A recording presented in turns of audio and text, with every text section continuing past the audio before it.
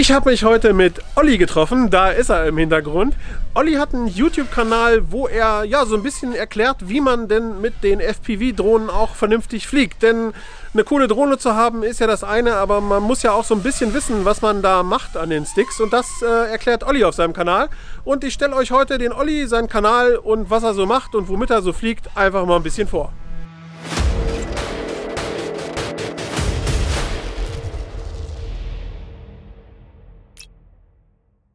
Jo, grüß euch. Mein Name ist Oliver Michael. Am meisten kennen mich unter Olli Mir eigentlich in Foren beziehungsweise auch auf YouTube oder Facebook, Instagram. Ja, ich bin 41 Jahre alt, komme aus der Region, äh, also wohne in der Region Braunschweig. Das ist ja in Hannover immer so ein bisschen zweideutig zu sehen, aber komme ursprünglich aus dem wunderschönen Harz, also aus Goslar, aus dem Vorland. Ja, fliege seit 35 Jahren Modellflugsport und bin vor acht Jahren eigentlich in das ganze Thema Drohnen eingestiegen baue selber Drohnen, bin vorher Race geflogen und jetzt habe ich Freestyle für mich entdeckt. Mache nebenbei so ein bisschen die Ausbildung bei der Feuerwehr für die äh, Wärmebildkamera bzw. für die Drohne mit Wärmebildkamera. Bin dafür unseren Landkreis zuständig und habe einen eigenen YouTube-Kanal, wo ich mittlerweile sehr viele Tutorials habe, wo ich vielen Anfängern erkläre oder auch Fortgeschrittenen, ähm, wenn sie noch was dazulernen wollen, Freestyle-Tricks bzw. die Anfänge, wie fange ich an, wo gehe ich hin, kurze Clips und ja, das nächste Clip oder der nächste Clip wird der Individual Your Spin sein. Wenn ihr da mehr drüber wissen wollt, wie das funktioniert, was abgeht, schaltet ein, klickt drauf und äh, ihr werdet vielleicht geschult. Mal gucken. Throttle, Throttle weg, Flip, Your und Flip. Throttle. Ganz wichtig, wenn ihr flippt und ihr seid auf dem Kopf, kein Throttle-Gabe. Air-Mode auf jeden Fall eingeschaltet lassen, damit er die Stabilität behält.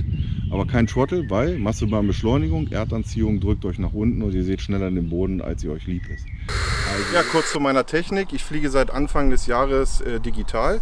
Ich habe mit analog angefangen, habe mir letztes Jahr sogar noch eine HDO 2 gekauft. Naja gut, okay, alles klar.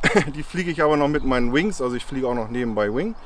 Und die benutze ich halt dafür, da fliege ich analog weiter. Sonst digital habe ich mir mittlerweile eigentlich ein ganz geiles Setup zusammengestellt. Wie gesagt, ich fliege die V1-Brille, die habe ich halt günstig geschossen. Man muss ja auch nicht immer das Neueste kaufen, die V2.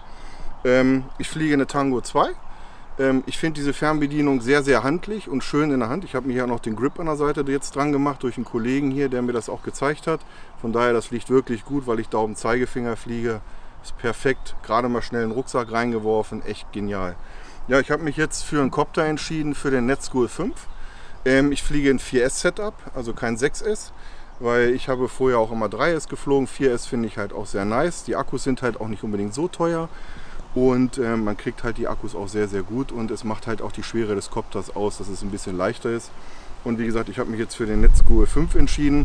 Ähm, den habe ich jetzt fast dreimal fertig gebaut als dreimal Backup-Copter weil einfach auch die Arme sehr dick sind, er ist sehr robust und was ganz wichtig ist, sind alle Druckteile mit dabei. Also egal, was ich halt irgendwie äh, mir dazu holen will oder was, was, was ich vielleicht drucken kann oder sowas, ist alles mit dabei. Wie gesagt, äh, Antennenhalter und die, die, die äh, Props bzw. die Motorschütze sind alle mit dabei und das ist einfach genial, das Teil. Ne? Also ich kann nur sagen, wer damit sich das Ding fertig gebaut äh, kaufen will, macht absolut nichts falsch. Ich habe meinen selber aufgebaut, weil ich halt gerne selber baue.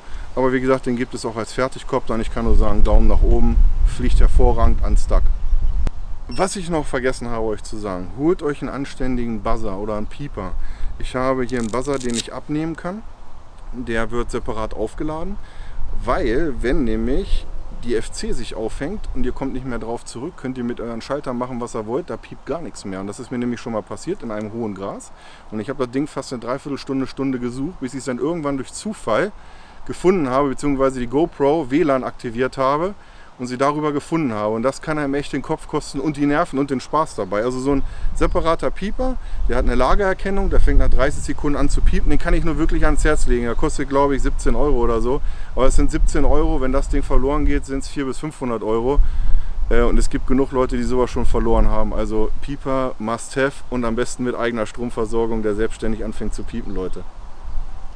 Genau, ohne eigene Stromversorgung macht es, glaube ich, auch gar keinen Sinn. Nee. Also wenn, dann so ein. Und wie gesagt, ich habe äh, Klett dran gemacht zum Tipp und ich kann ihn halt an jeden Kopter abmachen und an den anderen Kopter dran kletten. Also man muss ja jetzt nicht für jeden einen kaufen, sondern man kann ihn einfach abmachen. Und Oh wenn ja, der abfliegt, genau, wenn der abfliegt, liegt er in der Nähe des Kopters. Also man findet ihn Ja. immer. Ne?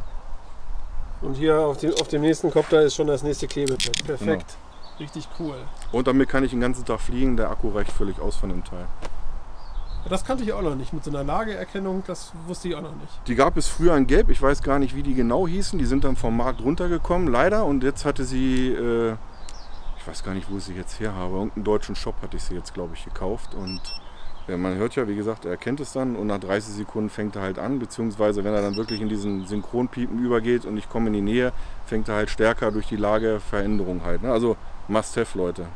Cool. Ja, der Inverted Yaw Spin, damit könnt ihr eure Videos so ein bisschen aufpolieren. Ähm, eigentlich zum groben Erklären halt, erstmal es ist halt eine Drehung auf dem Kopf. Es gibt verschiedene Möglichkeiten, den halt durchzuführen. Einmal mit einer Cross-Coordinated Rolle, Cross-Coordinated Roll oder halt mit einem Flip nach vorne oder hinten, also ein Halbflip. Aber den werde ich ja noch ausführlich jetzt beschreiben.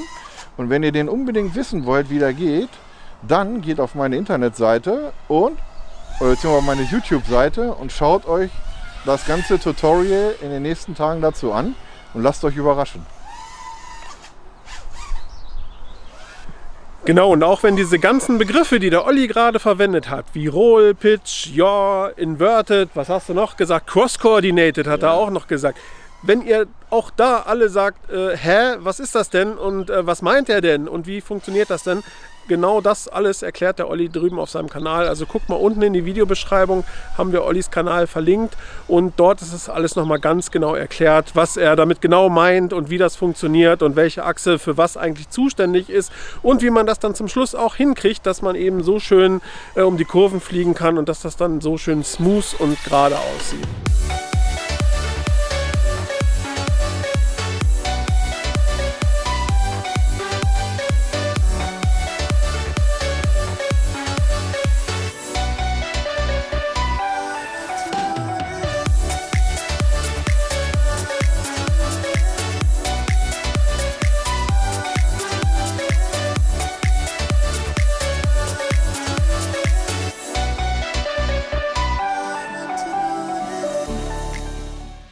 Das war's heute auch schon wieder von mir und hier dem Besuch beim Olli oder beziehungsweise dem Treffen mit dem Olli. Ich möchte euch aber auch noch den Matthias und die Webseite fpvverzeichnis.de ans Herz legen.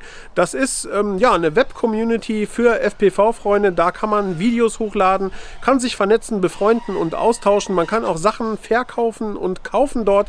Ist auch ein kleiner Marktplatz mit angegliedert. Schaut da mal rein, das ist auf jeden Fall eine richtig coole Sache. Den Link dazu findet ihr unten in der Videobeschreibung. Genauso auch wie den Link zu Ollis Kanal. Und vergesst auch nicht, unseren Kanal zu abonnieren und zu liken. Und wir sehen uns beim nächsten Mal.